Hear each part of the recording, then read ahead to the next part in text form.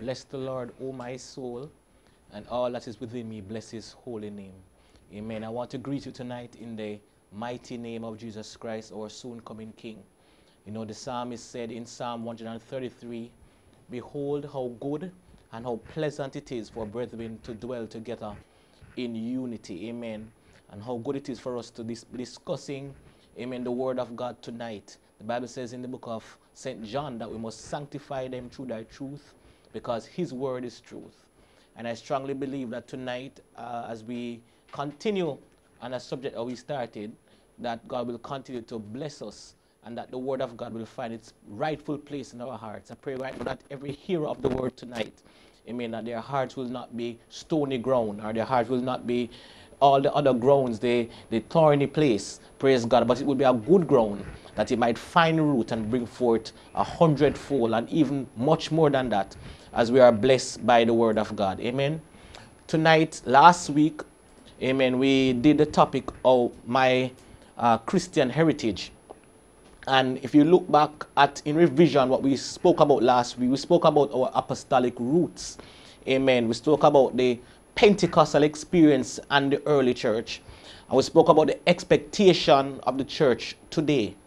Amen. We said that it is a fact last week that God has always had a plan uh, to pass down his ways from one generation to the other. Amen. And this is just revising what we said last week. We said that, amen, that children, amen, should learn uh, godly things from their parents. Amen. We look at the scripture in Deuteronomy, uh, the Shema, which says that the parents must teach it diligently unto their children and must talk of them when thou sittest in your house, and when thou liest down, and when thou risest up. We talk about Abraham who passed it down from one generation to the other. Amen. We touch the fact that the church, amen, was built, amen, upon the foundation of the apostles and prophets. And Jesus Christ himself being the chief cornerstone in the book of Ephesians, chapter 2 and verse 20. And we also touch the fact that, amen, from the first century church, and we know the church started in about AD 33, in the first century, that the passing down, amen, should be done through our teaching, amen. And our teaching, we look at the scripture in 2 Timothy chapter 2, verse 1 to 3, which says that, Thou therefore, my son, be strong in the grace that is in Christ Jesus. And the things which thou hast heard of me among many witnesses, the same commit thou to faithful men who shall be able to teach others also. Thou therefore endure hardness as a good soldier of Jesus Christ. So we see where Paul was instructing Timothy, amen, that the instructions and the things that he has learned from the Lord should be passed down from one generation to the other. We must pass it down in our teaching. But also we say that it must be passed down in our lifestyle. So we look at 2 Timothy chapter 3 and verse 10. But thou hast fully known, and he said, my doctrine. He says, my manner of life, my purpose, my faith, my long suffering, my charity, my patience, my persecutions, my afflictions, which came unto me at Antioch, Iconium, at Lystra, with persecutions I endured, but out of them all the Lord delivered me. So here it is that Paul is telling Timothy his lifestyle. He was saying that you have seen all these things portrayed in my life my doctrine, my manner of life, my purpose, my faith, my long suffering, my charity, my patience, and so on and so forth. So from last week, we learned that our heritage must be passed down through our teaching and through our lifestyle. Amen.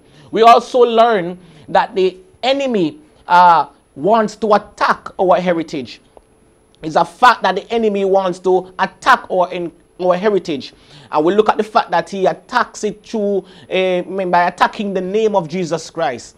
And we look at the different examples, even from the first century, second century, um, different theologies that came up um, that tried to attack the name of Jesus Christ.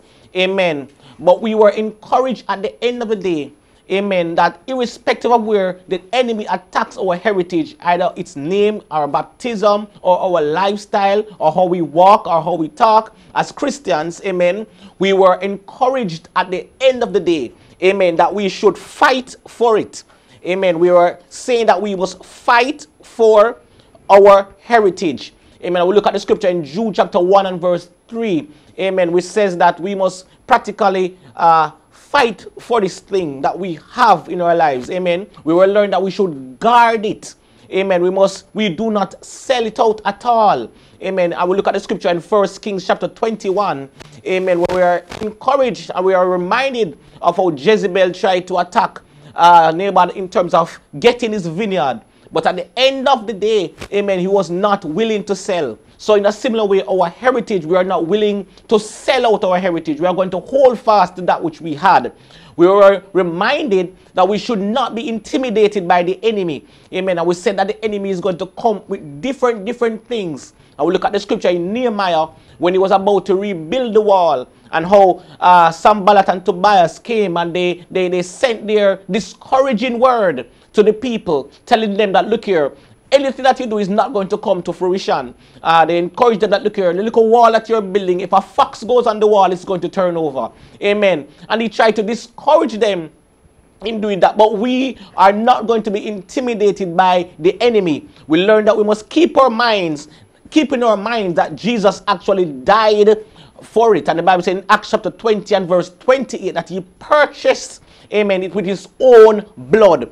And we also look at the last thing that we must understand the cost that it takes for us to get it today. We look at the lives of some of the apostles and how they died a cruel death amen, in order to ensure that we get this gospel message. So tonight we are going to move on from the heritage. The heritage is the stuff that we need to hold on to.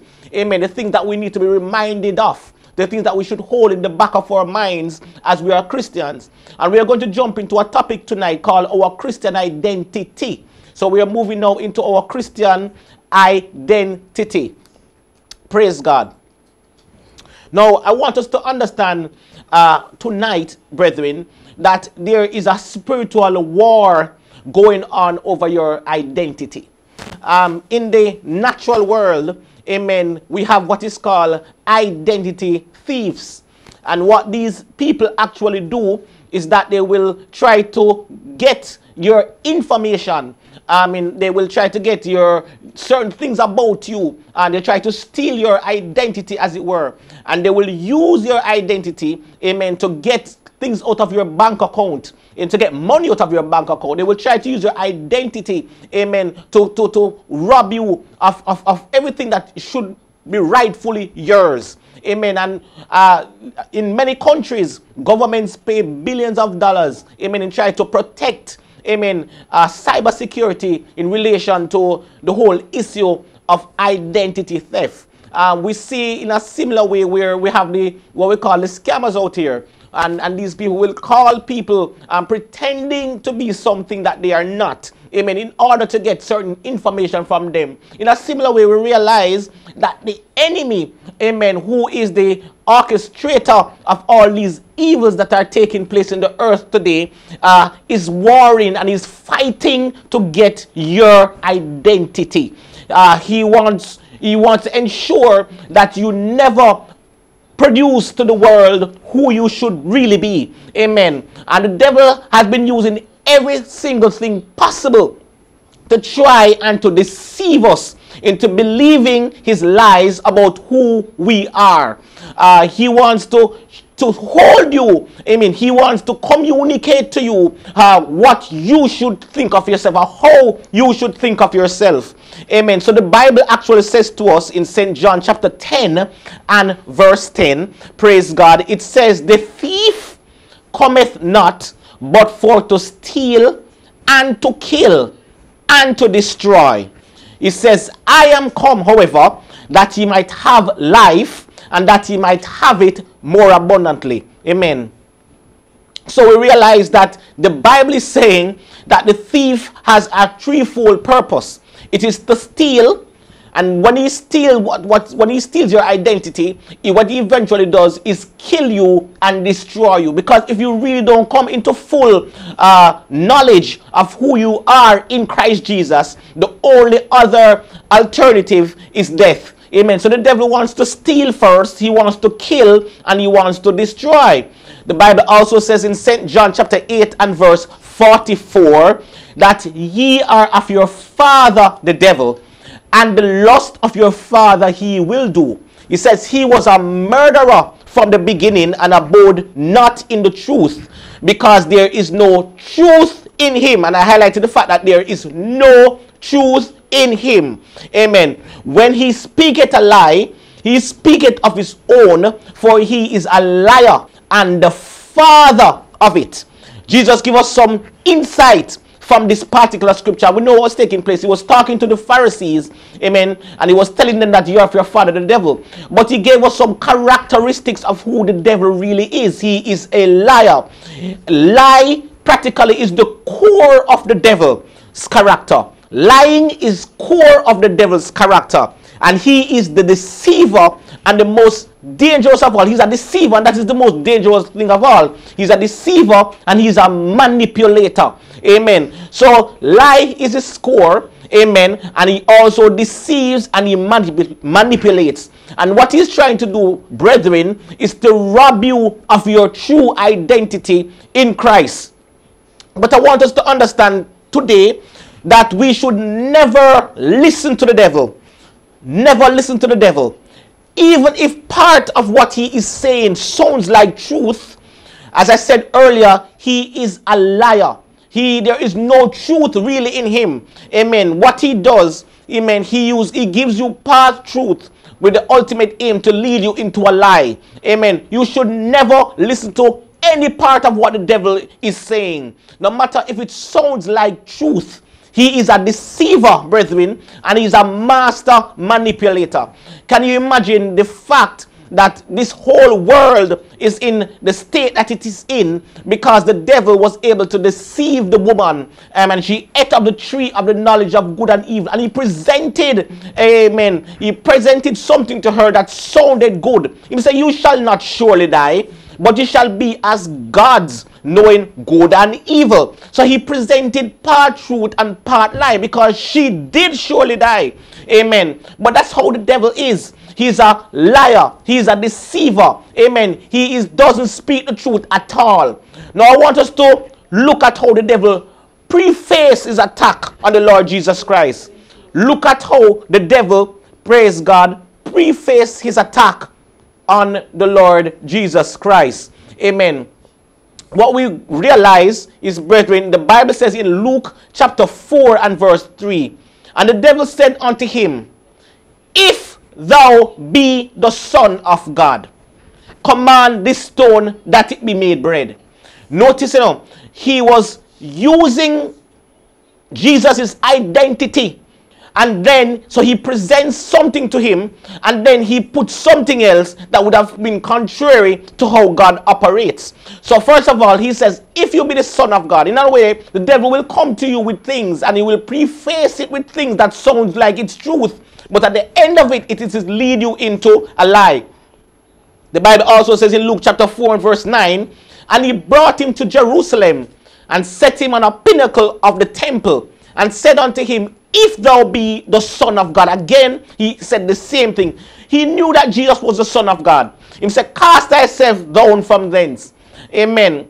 But one of the things I like about this is that Jesus was not lured into the trap of the devil. And why this happened? Because he did not have an identity problem. Amen. You see, Jesus knew who he was, and therefore the devil could not come to him and say, Boy, if you are this, and if you are that, do this. Amen. You know, a lot of people are caught into the trap of the enemy. Amen. Because what the devil does, praise God, what the devil will do, he will say to you that, look here, you are supposed to be a preacher.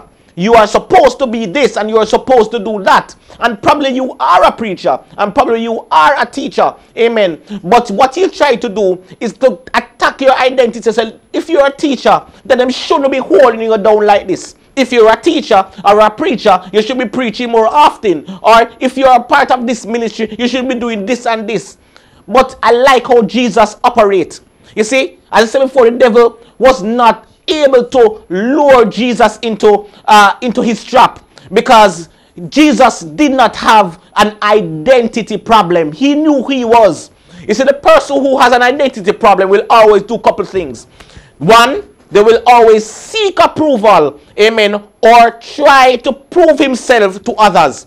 So in other, so there are different different times when you have an identity problem and the devil comes to you, amen. What you will try to do is seek the approval of people, amen. But our approval must not be in people. Our approval must be in God. The Bible says, "Whatsoever your hands find it to do, do it unto God, not unto man." Amen. Irrespective of what you're doing, child of God, ensure that at the end of the day, God is getting the glory out of what you do. It's not to prove how well you can sing. It's not to prove how well you can preach or teach. Amen. But our approval should be in God. Praise God. Number two, amen. The person who has an identity problem will always uh, try to live um, at the reaction. They will always react to life circumstances.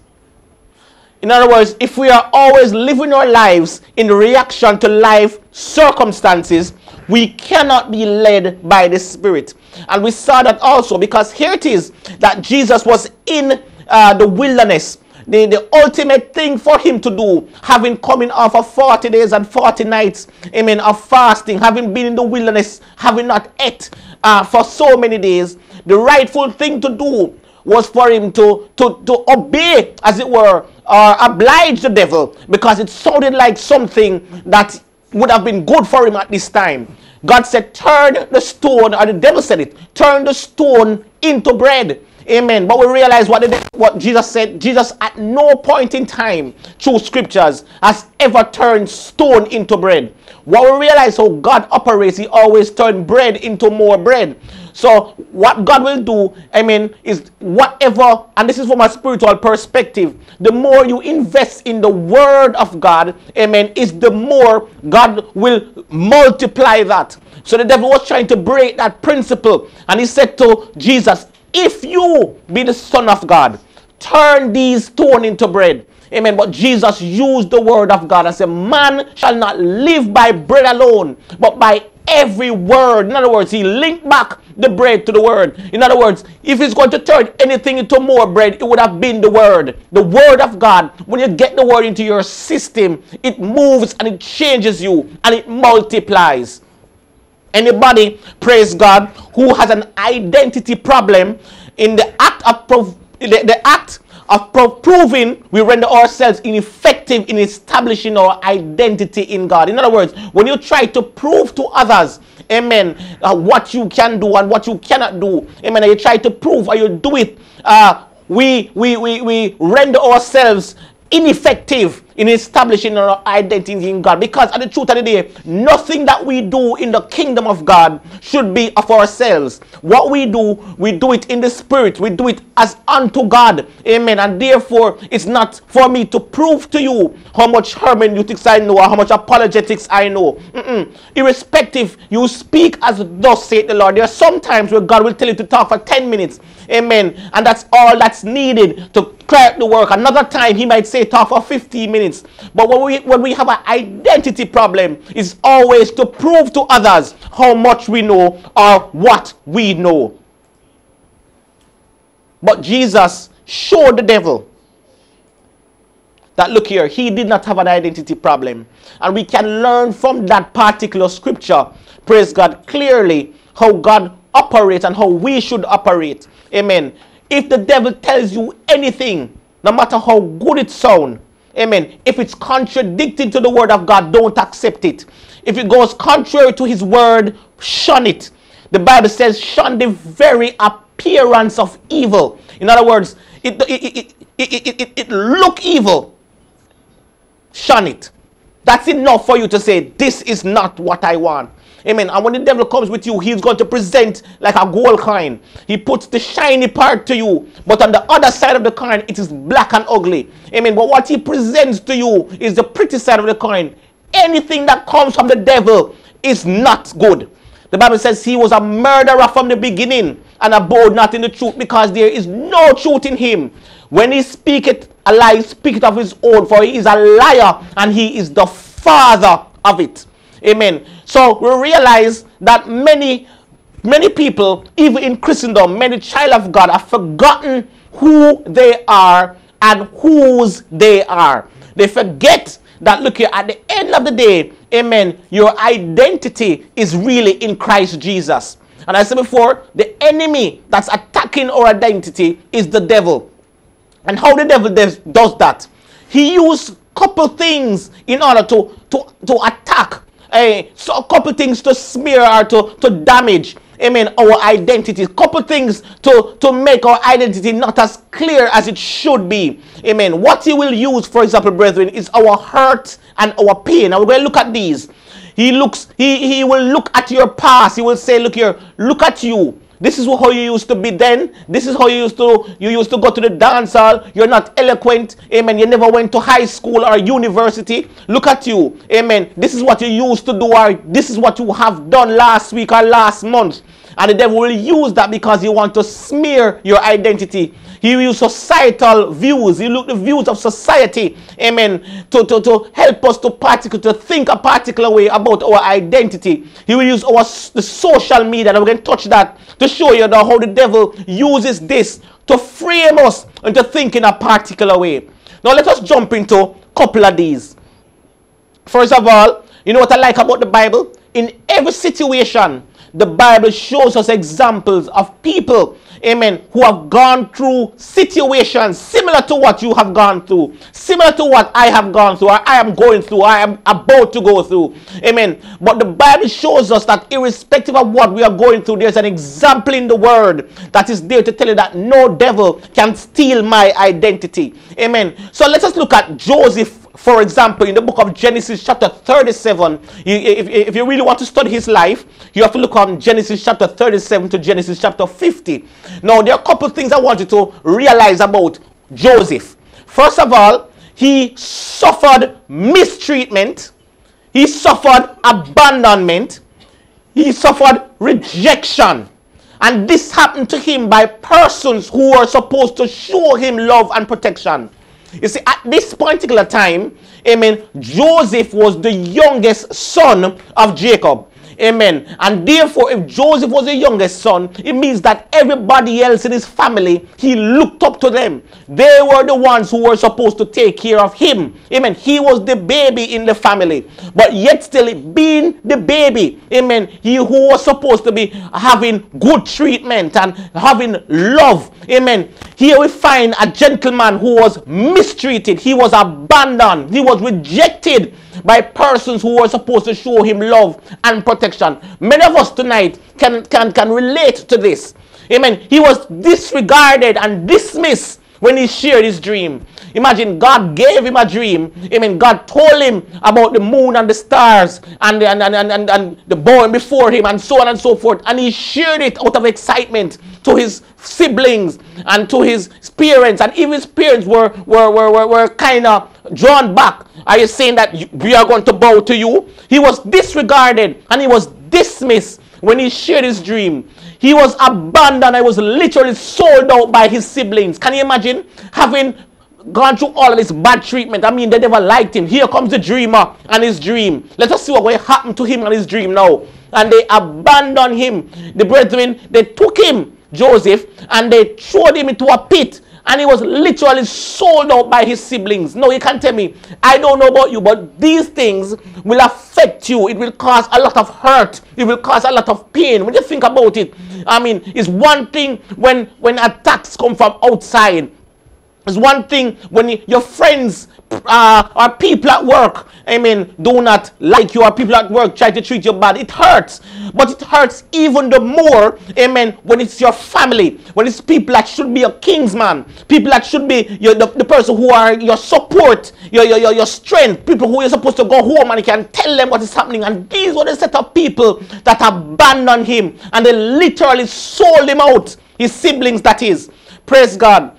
Not only that, we realize that Joseph was even betrayed by his boss's wife. So it is that the man got through pain already in, in, in, in, in, in, in, in the pit. He was in the pit. He was sold into Egypt. And somebody bought him and the man life. He was a slave. But his life seemed as if it went up a little bit. Amen. He was now in Potiphar's house and things seems okay. Amen. Everything that was in the man's house was in his hands. Amen. He had control over everything. And in the midst of that, amen, having gone through all the things that were mentioned already, here it is that this woman come and she betrayed him by saying she wanted him to sleep with her.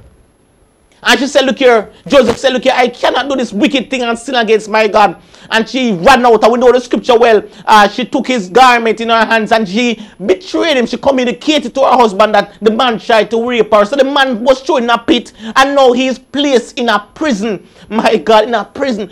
God, what are you doing? What is happening to me? He must have said. And being in prison now, we thought that things would have gotten a little better. But, you know, Joseph was there for a while and two persons he met, the baker and the butler. And we know what happened, they dream a dream. And Joseph was able to interpret the dream. And he even reminded, I think, the butler that, look here, when you come out, tell Pharaoh about me. You know, remind him about me. I, I, I seem to be lost in the system. Praise God. And you would have thought that having interpreted the dream for the man, the man would have remembered the man, but the man forget him altogether.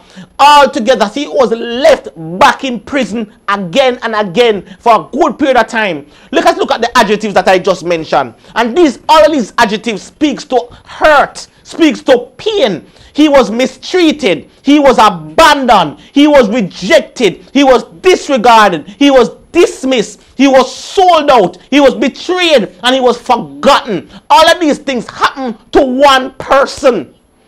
And I cannot tell you something. The devil, if you don't know who you are in Christ, the devil will uh, mess you up. Because some of us, having had these experiences in our lives, some of us have gone through situations where we were mistreated and abandoned and we were rejected and we were dismissed and we were sold out. Amen. We knew that you were the best person in your department to do the job. Amen. But something happened and they, they overlook you. Amen. And you're wondering what you did. My God, what is happening? But I learned something about our identity. You see, when Joseph, uh, when your identity is in God, God will channel your hurt and your pain in the right place. Amen. God knows how to to, to, to take a situation. God knows how to use your present situation, irrespective of what the devil comes with. God knows how to turn it around. But it only happens to you when you when your identity is not in what happened on the external. Your identity is in God. The uphill struggles could have stripped Joseph of his God given identity, but it couldn't do it because guess what? His identity was in God. And irrespective of what the devil came with, we realize that Joseph was able to come out victorious. So the Bible declared to us in Genesis chapter 50 and verse 20, and notice we said it starts from 37 to verse 50. We realize that uh, the Bible says in Genesis chapter 50 and verse 20, But as for you, now here it is that that that that, that the, the Joseph was here talking to his brethren. But tonight I want us to declare a word to the enemy. Amen. Declare a word to the devil, irrespective of what is going to. ask for you, devil, you thought evil against me, but but I like that word. But but speaks to there's a contrast, there's a flip to it. God is going to do something magnificent. God meant it unto good. So the devil thought it was evil. The devil was working up his thing. The devil was doing his best thing to ensure that Joseph was lost based on his hurt and his and pain. But can I tell you something? When you have your identity set in God, when you have your identity sealed in God. Amen. What the devil means for evil, God is going to show you that, look I can turn this around for good. It says, God meant it unto good to bring to pass as it is this day to save much people alive. In other words, all that Joseph went through was for one purpose to save much people alive. Not only that, because of what David went through, he was able to preserve, uh, uh, my God, praise praise, praise. He was able to, to serve Judah. Amen. And through Judah, the, the, the seed line came. Through Judah, the Messiah came. So even though his brethren thought that they were doing evil against him, God, who is the master planner, can I tell somebody something? When your identity is in God, when your identity is in Him, no hurt and no pain that the devil will try to use is going to be, be, be, gone to naught. Amen. You know, there's a scripture in First Chronicles chapter 21 and verse 1. It says, And Satan stood up against Israel and provoked David to number Israel. Amen. Now, go back. To number Israel. Praise God. So, what we realize, the scripture is saying that Satan stood up against Israel and provoked David to number Israel. But the Bible says in Second Chronicles 24 verse 1, and again the anger of the Lord was kindled against Israel. Praise God. Uh, and he moved David again them to say, go number Israel and Judah. Now the question will be asked, who moved upon uh, upon David? Was it the devil or was it the Lord? Amen. In Chronicles, it says it was the devil. In Second Samuel's, it says it was the Lord. But who it was? Can I tell you something? The devil was the one who wanted David to number Israel. But God used the situation because nothing that the devil comes with. I love the fact that God is the master chess player. Amen. When the devil thought that he's working out something, God used what the devil is working out for his glory at the end of the day. So it was really the devil who caused David to number Israel. But God himself, who is in charge of everything, moved upon the devil and said, You need to go do that. Amen. Because he had an occasion against the Israelites who were doing evil in his sight at the time.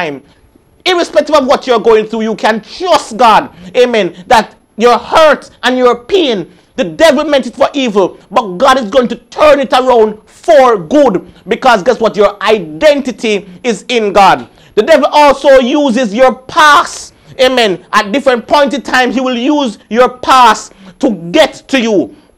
So the Bible says in Revelation chapter 12 and verse 10 to 11, it says, And I heard a loud voice saying in heaven, Now is come salvation and strength and the kingdom of our God and the power of his Christ. Why? For the accuser, for the accuser of our brethren is cast down, which accused them before our God day and night and they overcame him by the blood of the Lamb and by the word of their testimony, and they loved not their lives unto death. Now, I want you to understand something about the scripture. First of all, the person who was making this loud cry, obviously, were people who were redeemed humanity. These were not angels. These were not uh, men, uh, uh, uh angelic beings, but this was humanity. These were people who were saved by Jesus Christ himself. Amen. And they spoke about what the devil would have done. They're saying they were happy, they were rejoicing, amen, because the accuser of the brethren is cast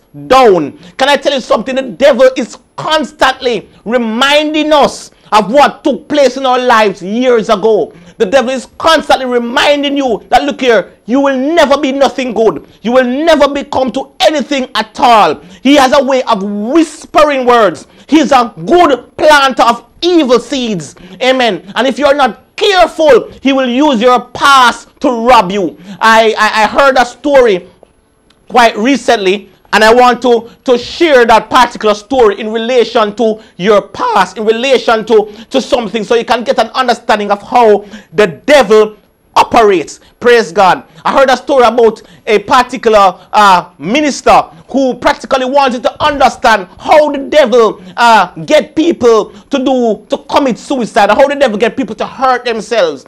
And he realized what was happening. He said the devil he got a vision, and the devil appeared to him and said, "Look here, I'm going to cause this particular sister, amen, to or this particular person to commit suicide." So the devil, the person was already sad and hurt and the devil came to her and said, Boy, you just whispered a word. And that's how the devil operates. You have to be careful which voice you listen to. A lot of our thoughts that we think originate from us really sometimes it's not from us. Amen. Some of the thoughts that we think that, that come to your mind, anyway, you have to check back the word of God because you might realize over time that it was the devil whispering a word, whispering something. Amen. So all the devil said to her, you know, she said nobody because she was already sad. She was hurt because she was somebody left her and she felt alone and she felt broken. Amen. She felt like this was it. Her life was done. Amen. And it so happened that the devil came to her and said, you know, sister, nobody no love you. And she said, yeah, nobody no love me, you know. Nobody no love me. I'm saying, you know, sister, everybody and all the devil wants you to do at times so is to just respond to what he says. He wants to just repeat it. So when he plants that seed, he cannot say it one time. And because he has planted it and you start to become, you start to begin, begin to think that it is your thought. So the woman was there. She said, yeah, man, nobody not like me. I'm saying this. She said, nobody else, nobody not gonna want you. If them they want you, this and this and this. And he keep on put, and she said, last year you didn't do this. And that's why you not have no friend. I said, yeah, me not have no friend. I said, if you kill yourself, if you kill yourself, nobody not gonna miss you. And you're gonna really gonna get back to them. No, they're not gonna really pay attention to you. And she said, yeah, man, I need to kill myself. And that's where the devil got her. I said, yeah, man, remember say you have some poison in the room. She said, boy, boy, we have some poison, you know. Me go do it. And the devil keep on a whisper, whisper. They say nobody not like you. That's why the person left you. This is a you are no good. You're you're this and you're that. And he spoke to what was happening in her situation, spoke to her past, spoke to her, telling her she's no good, she's nothing. Praise God. It so happened that the woman uh, went around the kitchen and she took up the poison and at that point in time, she was struggling now to drink the poison. I'm saying, man, drink it, man. Nobody now, nobody not like you, man. Drink it, man. Make them feel the pain. Make them go through the anger of, of, of knowing that them never treat you good. Drink it, man. And, and she did here and she struggled with drinking the thing. Can I tell you a lot of times when the devils begin to whisper things, especially if you're a person who's a child of God and he begins to whisper, there is a struggle. There's a struggle over time because you know in your spirit, there's a fight in your spirit. But what I learned learn about God, Holy Ghost, what I learn about Jesus is that He does not trouble your decision, but He will speak to your heart and He will say, Brethren, this is wrong. Don't do this. Listen to my voice. Listen to me. And the devil keep on saying to this woman, Kill yourself, man. Do it, man. Them, nobody not care about you, man. And see, that is why this happened to you. And see, that's why they talk about you all the time. And she eventually drank the thing. Now, when she drank the thing, he backed off. That's the time she regretted it because she realized what she was doing. She wanted to stop it, but at that point in time, it was too late. And you know what the devil was doing? He was laughing. He was laughing and he was showing the man that he was showing the vision. This is how I get it. This is how I get people. And the person drank it and the person was trying to stop themselves now, but it was too late. The poison was already in the system. And eventually they, they began to, to form and so on and so forth until the person died. And as the person died, the soul came out and the devil lost take the soul. Amen. Because that was it for him. Can I tell you, brethren, don't allow the devil to whisper anything into your spirit. And I want you, if you're here tonight, to type out in the in the chat say your past does not define you. Hallelujah. You are not defined by your past. Your identity is not dependent on something you have or do not have something you have done or have not done. Amen. Your identity is marked in christ jesus our lord. Our identity is in jesus christ. Say it again. My I, my past does not define me Type it. Say to somebody, my past does not define me. Amen. Who defines me is God. Amen. Can I tell you something, brethren? None of us, amen, not bar none, only Jesus Christ himself, every one of us can state in our lives that we have made mistakes in the past. Every one of us have gone to some lows that we, we regret. Every one of us, even from the highest of us to the lowest of us, amen, have gone to places. But as I said before, I love the good old book because it defines some examples and it's not like other religious books there that show men as characters who are infallible. Amen. The Bible shows the men in the Bible who, who we respect. Amen. People like Job and Peter and Mark John and, and, and, and Paul and all these men. We respect these men. But guess what? Most of these men are examples of success after miserable failure. Look at Job, for example. Job lost every single thing. And the failure not, might not be a case where you do something wrong, you know. The failure might be there's something happening in your life. You're doing your best. And then out of the blues, COVID come, you lose your job. COVID come, you can't do this you can't do that what you used to do. Job lost everything that he owned in a particular day. My God. And that was enough. Uh, the devil says, skin for skin. Amen. Because he realized that he couldn't touch Job. Amen. Uh, the external things of Job, even though it hurt, it couldn't move him. So he realized what he did. He touched his body. Amen. When he touched his body, his body becomes sores, hurt. Guess what happened now? It got so bad that his very wife said that he was a loser. She called him a loser. And she suggests that he must curse God and die. Just curse God and let's die. I think that was bad enough. Him brethren them come around him and he sat and they look at him. Because you must, they, they did what I think was called retribution theology, which practically believes that, look here, in order for you to be going through something like this, you must have done something wrong. So they sat down on him and they said, Job, no man, tell me what you do. What you do? But we realize how God operates. Amen. I'm saying before, these men became successful in the end because your past does not define you. So guess what happened now? Job, the Bible says in Job 42 that he got double for his trouble. Peter denied the Lord three times. He was not perfect, but guess what? Peter was the one who preached the gospel, the first, this apostolic message that we love so much this apostolic message that we hold uh, with very high esteem. Um, in the apostolic church, you go, you see Acts 2.30, it seems to be the theme of our hearts. Repent and be baptized. And Peter was the first one that was preached this message. Actually, Peter was given the keys to the kingdom of the, uh, uh, and whatsoever he bound on earth was bound in heaven, and whatsoever he loose on earth will loose in heaven. And God gave him the keys to the kingdom. Peter, you know, the same person when him come to him and say, you didn't know Jesus? He said, no, me never know the man. Three times he denied him. Mark John was another example. Mark John went on a missionary journey and Mark John turned back at Perga. The, the, the road was too hard for him. Um, he, he, he, he, he, he looked as if this was it for Mark John. As a matter of fact, when Paul was going on the second missionary journey, he decided that he would not have brought Mark John with him. Because guess what? The man turned back at Perga. But this is the same Mark John that Paul wrote about and said, send for him, for he is profitable to me and to the gospel. This was the same Mark John who wrote the book of John, um, a, a book of Mark. Even though most theologians would say it's the gospel of Peter, it doesn't matter. His name is ascribed to it, the gospel according to Mark. Because guess what happened?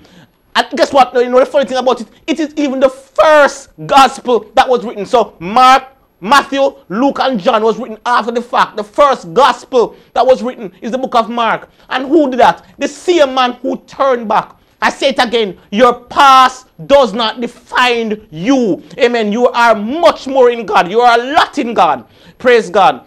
We look at the whole thing of uh, how the devil uses social media. Amen. To try to um, trick us up and get us to feel, amen, that that that that that that that that, that he wants to switch our identity. The danger with this thing that is called social media, brethren, is that it is constantly bombarding you with images about things. It, it, it, it, it is trying to define who you are supposed to be. It also dictates to us how you are supposed to look. It, look, it, it, it, it adds where you are supposed to go and how you are supposed to behave. It's a social media, and that is why I have be very, very, very careful because I tell you, the devil, as I said before, is attacking our identity. He is attacking our Christian. That is why a lot of the young people are seem to be confused because at the end of the day, they are wondering. You're looking on social media and they're looking at who is the who's, not knowing that the who's out there are, are, are, having the same issues that they are having. It, it is trying to tell you how you're supposed to look. And therefore, the Christian don't want to look like a Christian anymore. Because what he's feeding his mind on is saying that this is how you're supposed to look. It is telling you where you're supposed to go. If you're not at the high places, amen, you feel that you're nowhere. But guess what? For your identity, it should not be defined by social media, by your past. It should not be defined by your hurt and your pain. Amen. Can I tell you, let me give you some quotes as it relates to social media and its danger. There's a guy called Sinan Aral, and he's the uh, professor of management at MIT. Um, he's a professor in IT and marketing. And here what he says, he says social media is designed for your brains. It interfaces with the parts of the human brain that regulate our sense of belonging and social approval.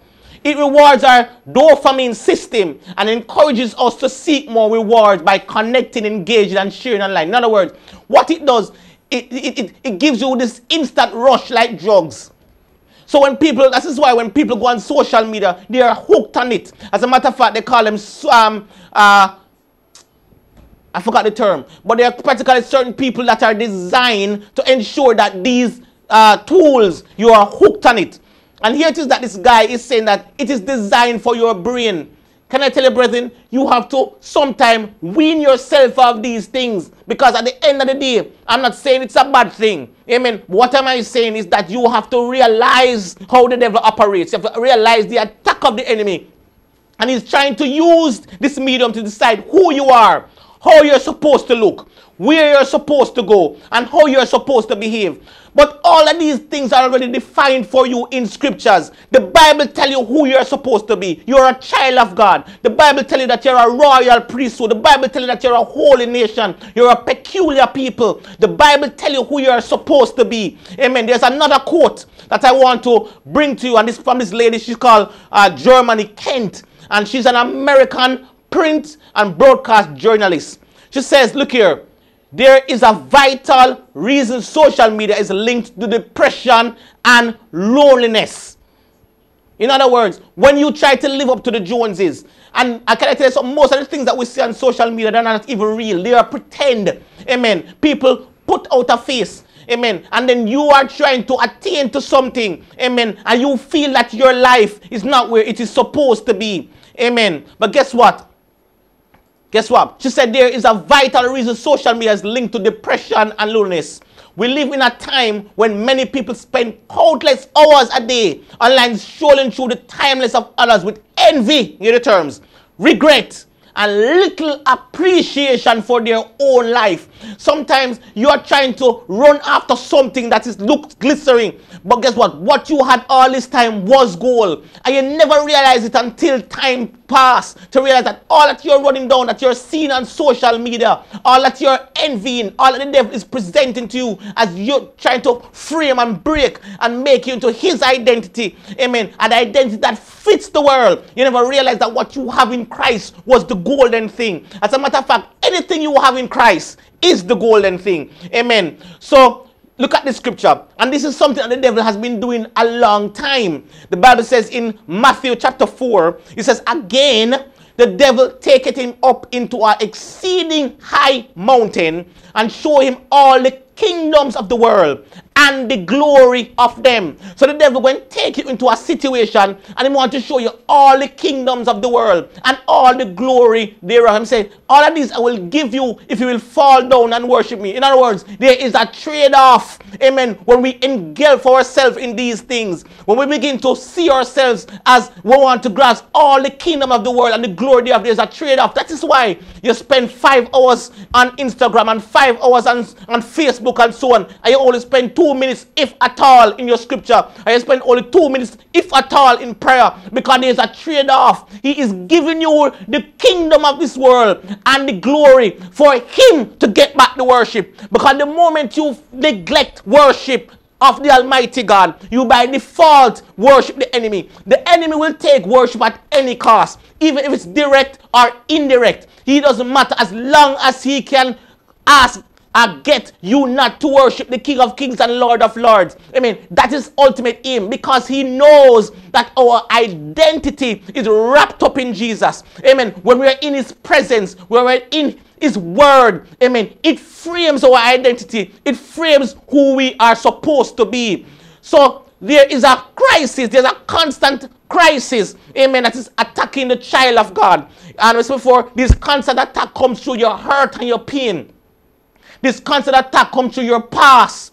This constant attack comes through society and social media. And it has caused us, uh, what we say, an identity crisis. And this is happening even in Christendom. But guess what? The identity crisis that we are seeing, uh, you're going to realize that it's kind of like twofold. It's twofold. One, some people understand their purpose in the kingdom. In other words, There are some people in the kingdom who have read the word of God. They read the Bible and, and they, they know enough. They have been around long enough. You have people who grew up in the house of God and they, they, they grew up and they hear sermons and they hear this and they know it.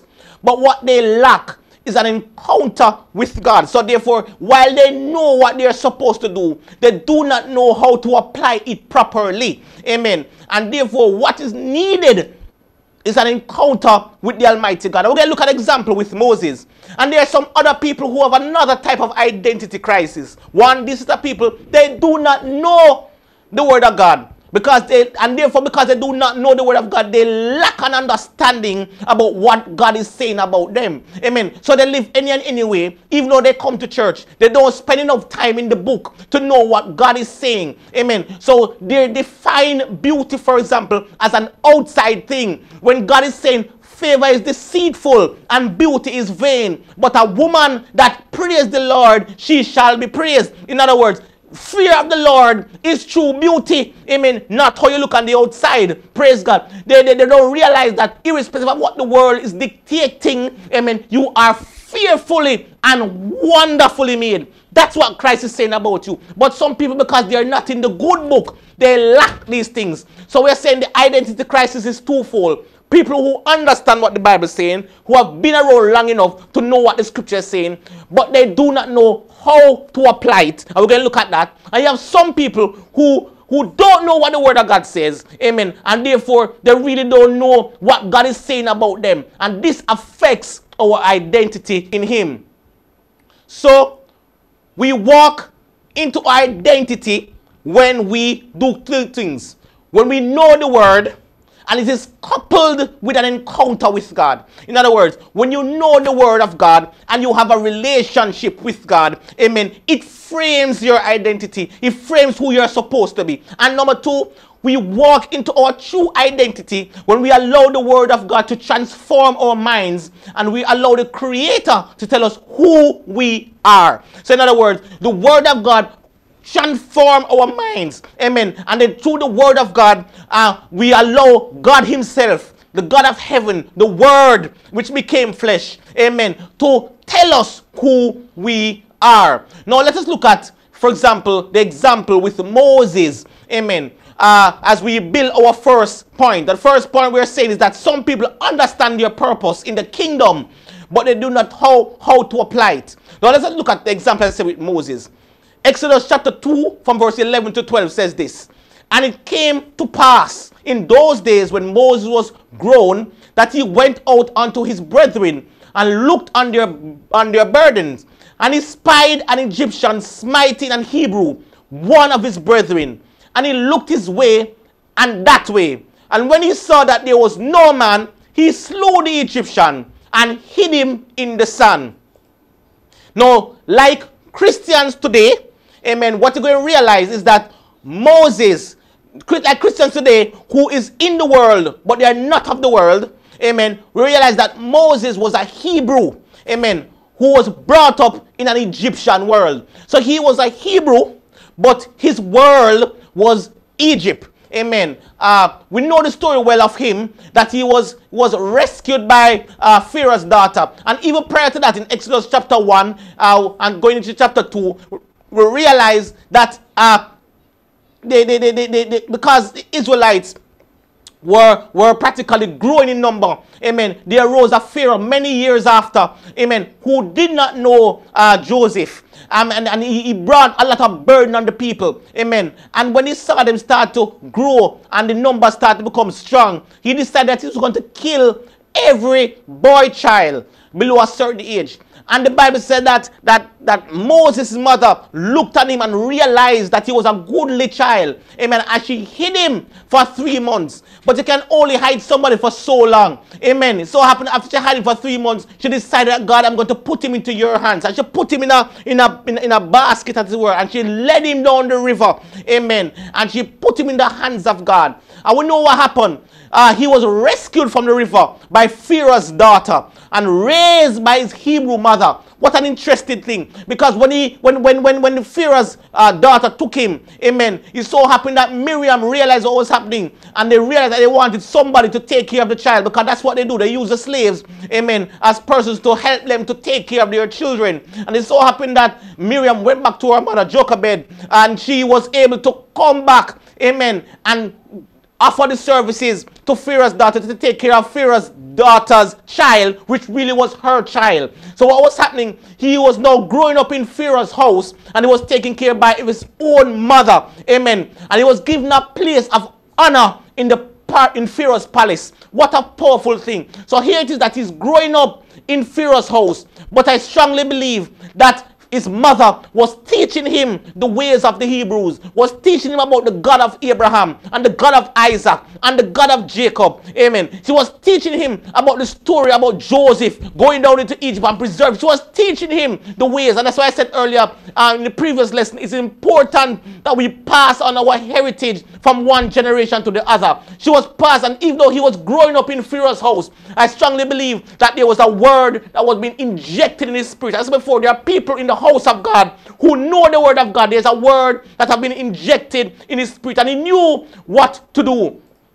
From the life of Moses, we see that God positioned him perfectly to relieve the persecution and affliction of his people.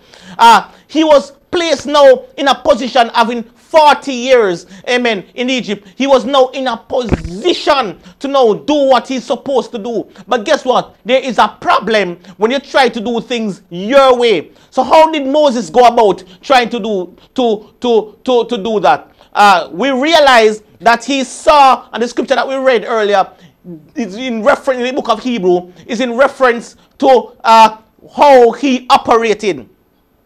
So what happened?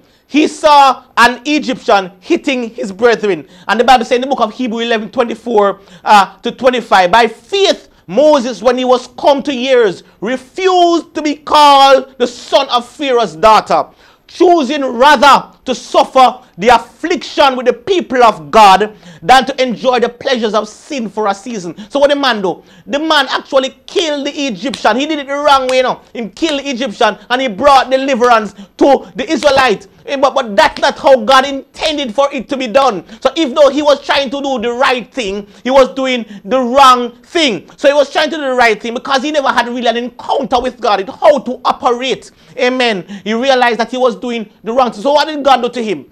Because God wanted him to operate not only from a knowledge that what he's supposed to do is calling, but also a knowledge of how God wants him to move. The Bible says in the book of Proverbs, in all thy ways acknowledge him, and he shall direct your path. So what did God with, with Moses? God took him into the wilderness to teach him in other words, the man having no uh, run away, the Pharaoh was seeking to kill him and he had to run to the wilderness. There's something about the wilderness experience, brethren, hallelujah, that we need to realize that God sometimes, even though in our heart of hearts, we want to do the right thing, but we are doing it the wrong way. Amen. We want to, to, to get some things done and we think that we know the word of God and we know what God's plan for our life. But sometimes, God, we need what we really need to bring that out is a good encounter with God. So God took him from his second Pharaoh's uh, palace and so on and brought him down into the wilderness to teach him. So in a little while, he learned about, he was a shepherd. Amen. He was tending to sheep for a while. And it was in the wilderness that he had an encounter with the burning bush. In other words, he had an encounter with the great I am. And when he had that encounter, he realized at this point in time that God was not ready to use him. Can I tell some, somebody something? God is getting ready to use you. But what is going to happen is that you're going to have a wilderness experience. You have the word, but God is bringing you in the wilderness to teach you. And when he teaches you, he will send you back to fulfill that purpose. At the first time when he did it on his own, he was only able to deliver one Egyptian, one Israelite. But when God sent him back after he had an encounter and he had the word coupled together, he was able to deliver 2 million people out of bondage. What am I saying? Brethren, God is a good God. Amen. When we have an encounter with God, amen. When we have an encounter with God coupled with the Word of God, it reveals our true identity. It puts us where God would have us to be. Have the Word and have the encounter. Because when you have an encounter with God, you begin to see the way God wants you to see yourself. You begin to operate the way God wants you to operate. And that's how God works. We see lot another example. We're talking about the same thing with Joseph, or with Jacob, sorry he had a similar experience in life like, like, like, like, like, like, like, like Moses. And we find this story in chapter 27 where Jacob was set out to deceive his father Isaac. Uh, he, was, he was so desperate about getting the blessing uh, uh, uh, uh, that, that, that was intended for his brother Esau that he would have gone to any great length to ensure that he get that blessing. Um, some of us, amen, uh, we know we have good intention, but sometimes we have to make sure that when we get the blessing, we get the blessing the right way. Amen. So when Jacob went to his father's chamber and, and his father asked him, Who was there? Who are you? This is where the identity crisis came into being. Jacob said to his father, I am Esau, your firstborn. Thus, we see Jacob claiming to be Esau. Now, that is what happened. A lot of people come to the house of God and we know you want a blessing. We know you want the things of God, but you're not moving in the person that God wanted. You see, you can't get the blessing in somebody else's name. Amen. You can't pretend to preach like T.D. Jakes. Amen. When God didn't give you that type of thing, you can't, you can't, you can't try to get a blessing uh, that really doesn't belong to you. He was actually saying he is Esau. All right. We know what happened. He got a blessing, yes. And sometimes when you do some stuff because you're, you're a misfit of your identity, you will get a blessing, but it will cause your pain. It will cause your problems. When you try to operate in somebody else's anointing, when you try to behave like somebody else, amen, and not operate how God called you to be, it can be a problem. You first have to realize who you are so that God can transform you. So he wanted a blessing. When the man asked him, Who are you? He said, I am Esau. He got the blessing. But we know what happened. For 20 years, the man had to run away my God. For 20 years, he was, he was out there. But we know what happened. Eventually, you have to come to yourself because you can operate for a long time as somebody else. But in order for you to get the true blessing that is intended for you, amen, you must come to an understanding of who you are. So in chapter 32, verse 22 to 32, uh, we see uh, Jacob now coming back Amen. he was about to meet upon his brother. And he was fearful. He had to sent his family ahead of him. Amen. He, he, we know what happened with the story. He went to his uncle and we know Laban and all of the things that happened to him. But I said before, he had to come back to himself. And look what happened now. When he came back to himself, we see Jacob here again, this time seeking a blessing. And again, the same question was asked of him. What is your name? What a powerful thing. See, the first time he got the blessing trying to be somebody else. The second time, he got the blessing. But guess what? This time, and can I tell you something? He was struggling to the point where the angel touched him in the hollow of his thigh. And I told you last week, limp, a limp walk with God, as a preacher said, it's not a limp walk with God. The preacher also say, I'm limping, but I'm not lame. I never forget these messages as a young man. So the preacher, uh, so, so, so the angel asked him, What is your name? And he responded, I am Jacob. It's at that point in time now, God, the blessing now was no longer from uh, his father. The blessing come directly from God. God blessed him. In other words, you have to come to an understanding of who you are. This is me. I'm not going to try to pretend to be somebody else. I know that I, I, I have my flaws, I have my faults, I have my issues. I have I've gone through this, I've gone through that. Amen. But at the end of the day, this is who I am. Amen. God, this is who I am, and I want a blessing from you. God, I'm not perfect. I've made mistakes. And when you have come to that understanding and come to that, then God will put you into your rightful identity. He was Jacob. He was a trickster. He was a supplanter. And God said, What is your name? He no longer he couldn't hold out no longer. He wrestled till the morning. He was wrestling with God. Till eventually he said, I am Jacob. And when he realized that he was Jacob, or he said that he was Jacob, that was the point in time that God blessed him and changed his name to Israel, which means a prince with God. Is there anybody who wants to be a prince with God? Come to an acknowledgement of who you are. So the question then, when we look at these two examples, the question then is, who are you? What is your name? Amen. I'm saying before, you can't allow your past to define you. You can't allow uh, your hurt and your pain to decide your identity. You can't allow the society and social media to frame you into their, into their mold. Because the truth is that who really are you when you become a child of God? Who are you? You need to know who you are in Christ so that you can live a life as God intended it to be, so that you can fulfill your identity in Him. You can fulfill your destiny. Amen. You see, the more you agree with God about your identity in Christ, the more your behavior will begin to reflect your God given identity. In other words, the more you begin to realize who you are, who God has called you to be, amen, the more you start to, to, to go into the Word of God, the more you start getting an encounter with the King of Kings, is the more God is going to, is going to begin to reflect your God given your identity. Your God given identity is not decided, amen, by anybody else. Your God given identity is not decided by the person. Your God given identity is decided by God Himself. I know how I know that. The Bible says in Isaiah chapter 43 and verse 11, But now, thus saith the Lord that created thee, and he that formed thee. He says, O Israel, fear not. That's the first angle. The devil wants to initiate fear in our lives because he knows fear cripples us. He knows fear will move us into a realm where, we're, where, where, where we can't operate uh, as we should. So God first thing to you is that, look here, when I saved you, brethren, I know you used to be a drunkard. I know you used to be a liar. I know you used to be a backbiter. I know you used to be a prostitute. And I know all of these things. But when God has called you and God has created you and formed you, the first thing He's going to say to you when He saves and He gives you the Holy Ghost, Amen. Fear not.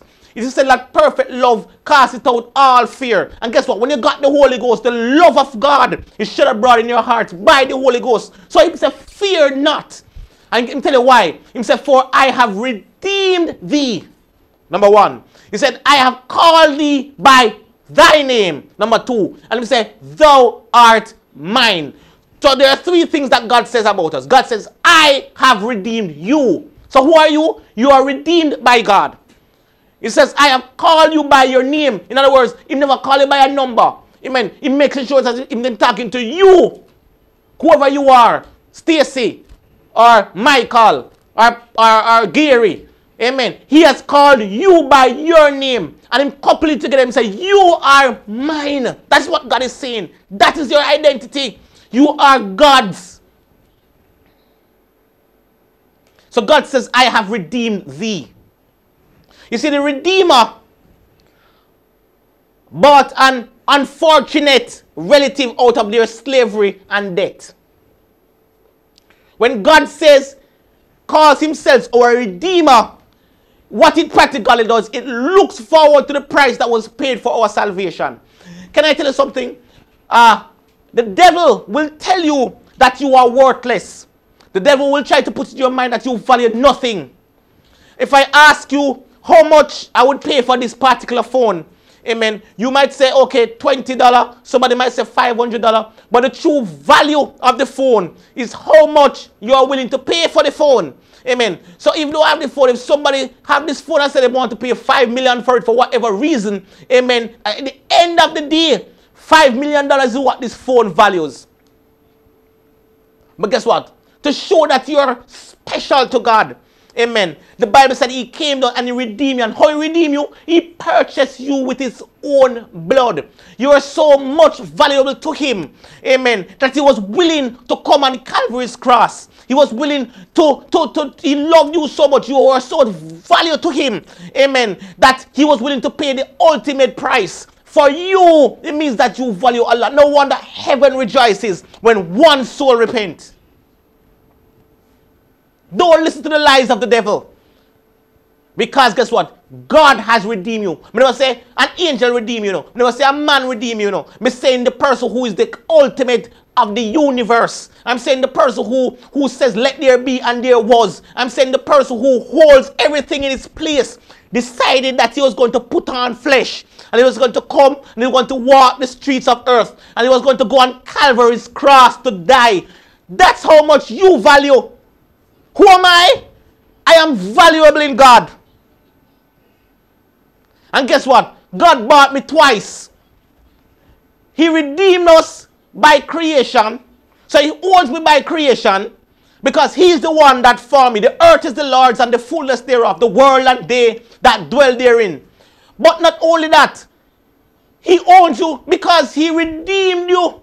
He bought you back. Reminds me of the story of Gomer who sold herself and went into prostitution. Amen. And the man was willing to go and buy her back in a similar way. All of us are Gomers. Because all of us were sheep without a shepherd. We were going wayward. We were out of it. Amen. Is why we can't look down on anybody at the end of the day. Because Christ was the one who bought us back. He has ownership for us through creation and through redemption. He says, I have redeemed me. That's who you are. He says, I have called thee by my name. You are mine. His ownership is personal because he said, I've called you by your name. In other words, in, in, in, in nowadays, they give people numbers. You, you, you know, a lot of time you talk about your ID number, your TRN number, your social security number, or whatever. God not deal with that. God call you by your name. Each and every one of us. The Bible talk, tell the book of Matthew how special you are. Him telling, look here, if God can take care of the lilies of the field and all of these things, you are special to him. And that is why, what is what the devil want to, to, to get us to, to not realize our identity. Because when you realize how valuable you are, you won't sink to any low. Amen. You're going to say, boy, God, God, God loves me. And therefore, God owes me. I'm a person of value. He calls me by my name. And not only that, he not only, he not only call you by name, he seal it.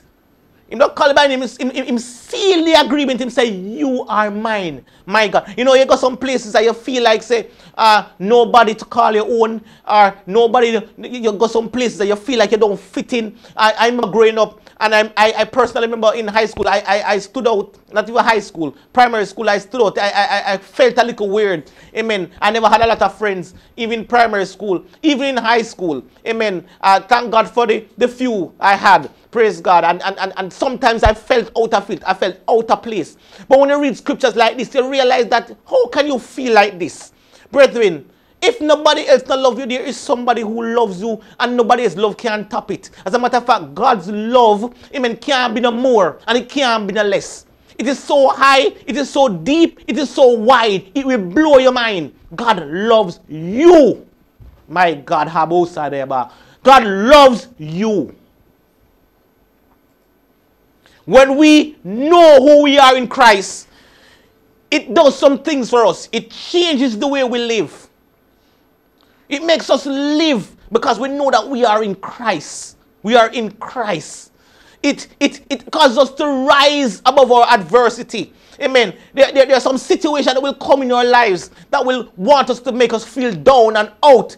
But when you when you know who you are in Christ, when you realize that this everything in this world is just temporal. But guess what? You have Jesus Christ who is eternal. You have Jesus Christ who will reign with him forever. It allows you in the back of your mind to say, boy, you know, uh, it, it, was when I, when I think about Paul, for example, Paul is a perfect example of, of, of this to show you how, how he can rise above everything that exists, even if it's good or bad. When Paul described his credential to the Philippians, it blew your mind. Him telling he was of the stock of this, and he was trained of this, and he was a Hebrew of Hebrews, and so on and so on, and he was blameless according to the law. And, and when the man give his credentials, at the end of the day, he said, My God, who is me? In a hole of your face. But Paul look at it and Paul said, All of them things that I have is dung, is nothing. It is worthless. You know why? Because he knew who his real identity is. It was supposed to be in Christ. He said he's going to call all these things nothing that he might gain the true identity that he's supposed to be. We lost it in the brethren. Where I think Adam was able to, to number all the animals, name all the animals. Where I think Adam was able to, to, to, to assist with doing certain things and he did it mighty because he had his identity in the image of God. That's what Jesus came back to remind us of. That's why he's called the second Adam. That's who you are. Amen. That's what Christ come to show you that you can live above your adversity. You can live above your situation. Because us to not live above our rights and privileges, when, when, when we don't know who we are in Christ, it will live below our rights. We live below our privileges. We live like say, uh, we live like say we are just an ordinary common persons. Mm-mm. You're not a commoner. You're a prince with God. Amen. You're a royal priesthood, royalty in your blood. Uh, his royal blood flow through your vein. My God.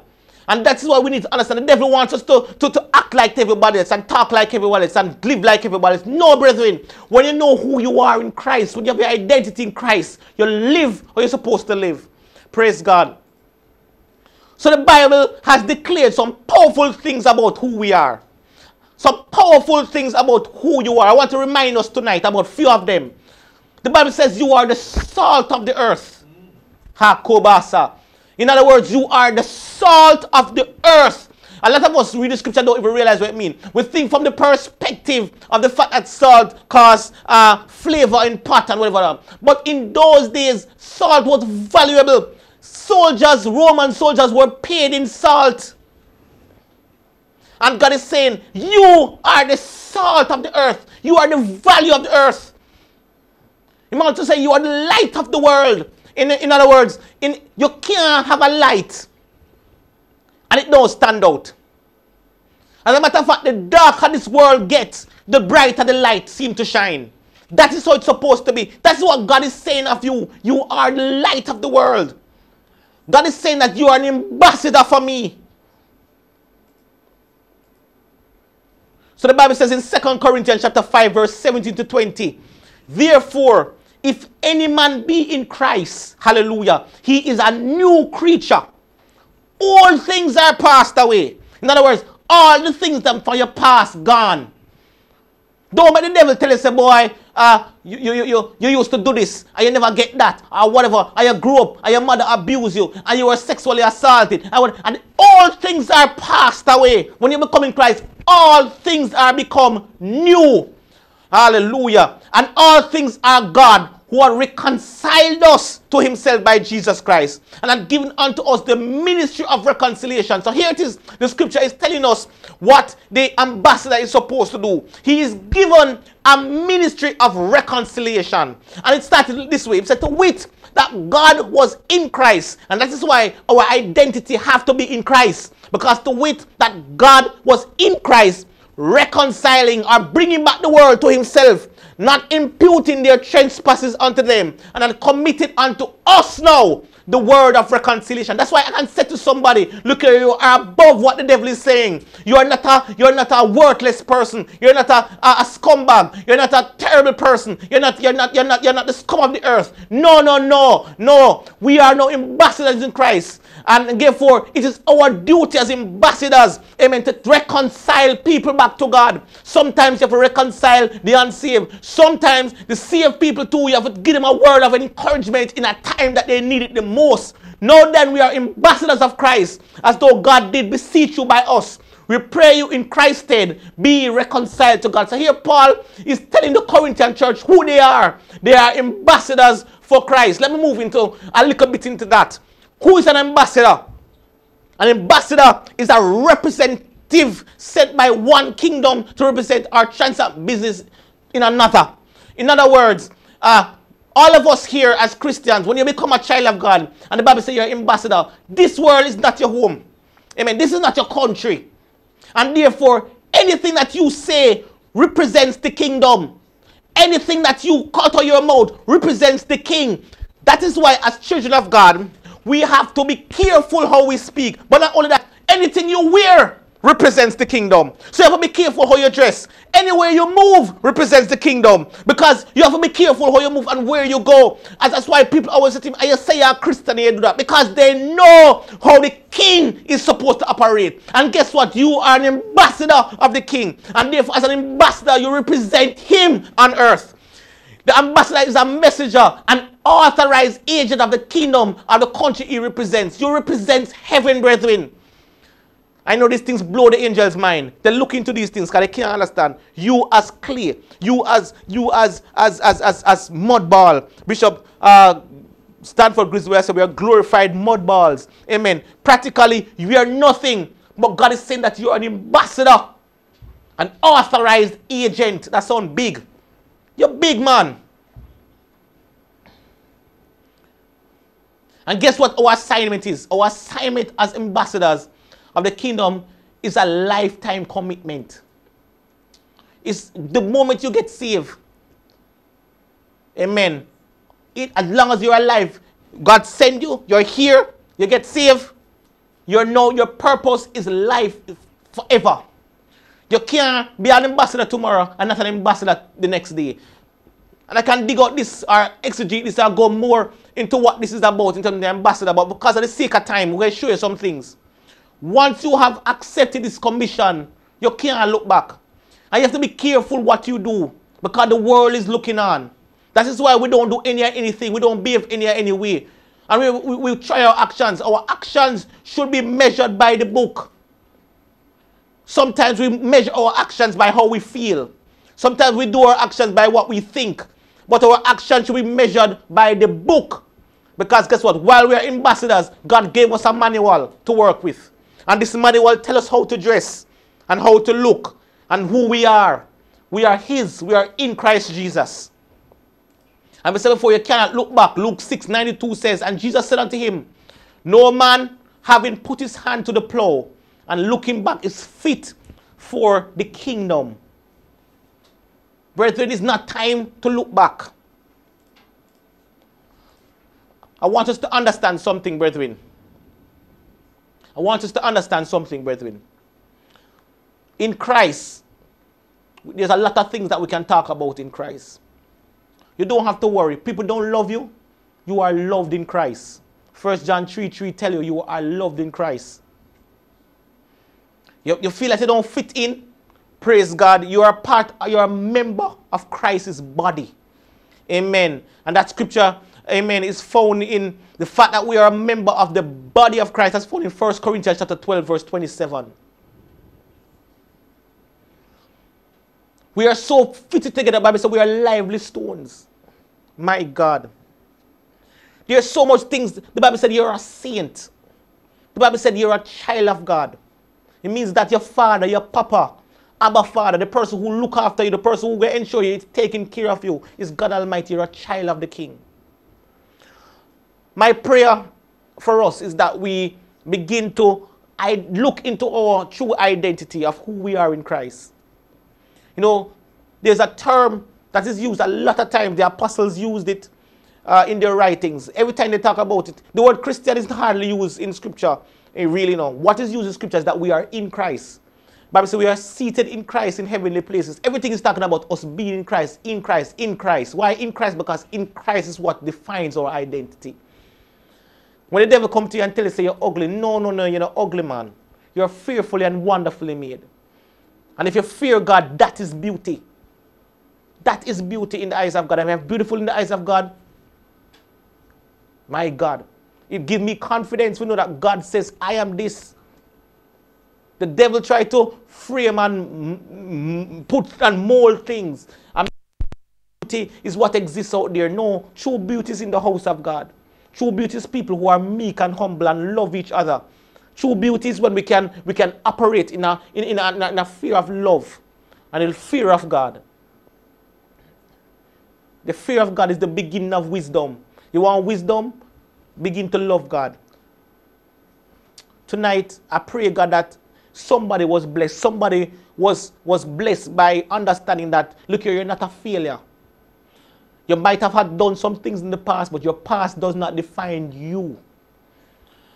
I want us to understand that you might have hurt, You might have troubles, but you're not the only one that have gone through that. We see people in scripture, but God has a purpose for your pain. You see, when uh, one preacher put it this way, there's power in pain. You see, when Jesus was on the cross and they pierced his side, yes, outflow blood and water, but what came out of him, what the devil didn't realize, it was releasing salvation. He was releasing the blood and the water that got me and you saved, the blood that flows from Calvary. There's power in it, man. And guess what? At the end of the day, God will get the glory out of everything.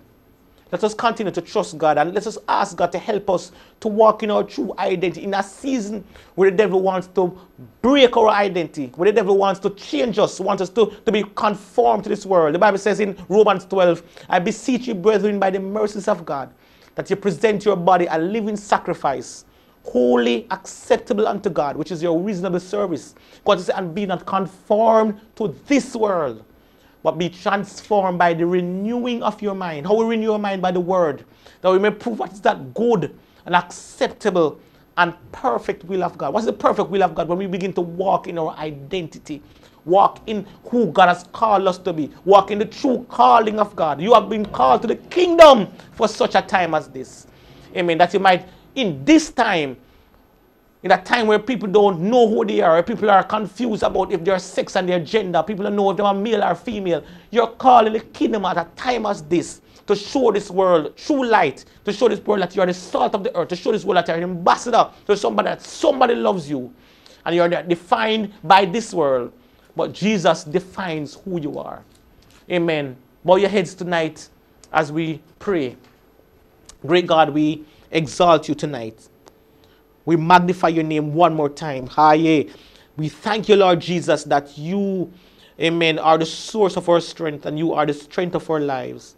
We thank you, Lord Jesus, that is in you we live and move and have our being. We thank you tonight, Jesus, that your presence is here with us and your presence is heaven to us.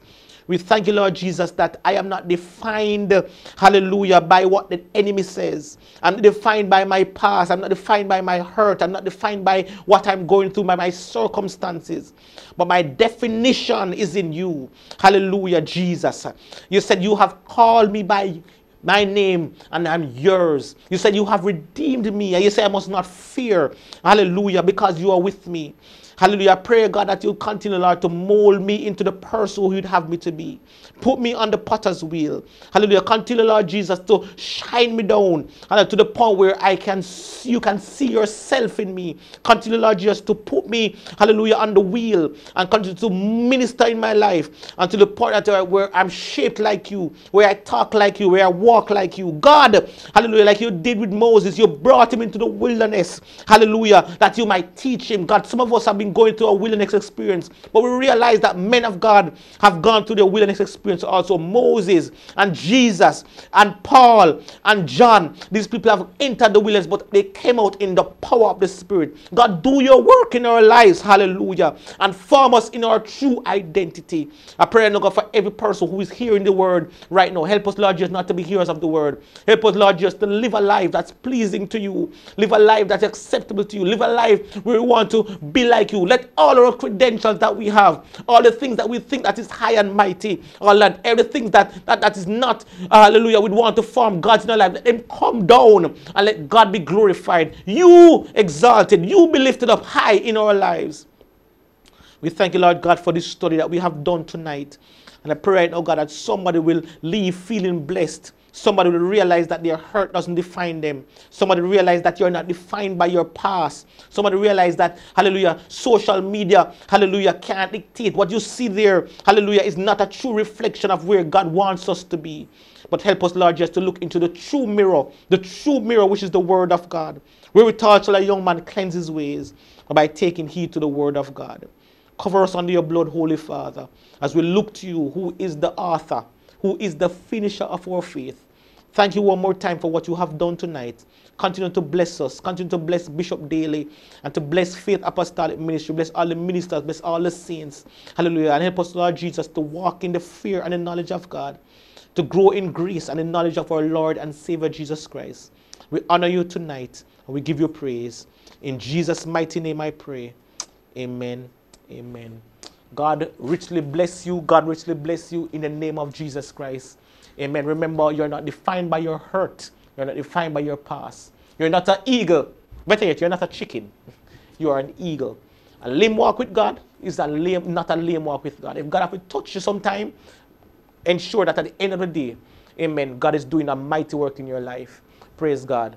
Um, come this Sunday, amen. We know group one and two were supposed to come Sunday, God, because we had the, the threat, amen, of Hurricane Elsa, which is another blessing that has come our way, amen.